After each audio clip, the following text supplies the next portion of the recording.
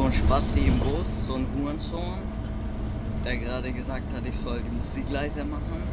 So ein Hurensohn, der nicht mal Schuhe hat.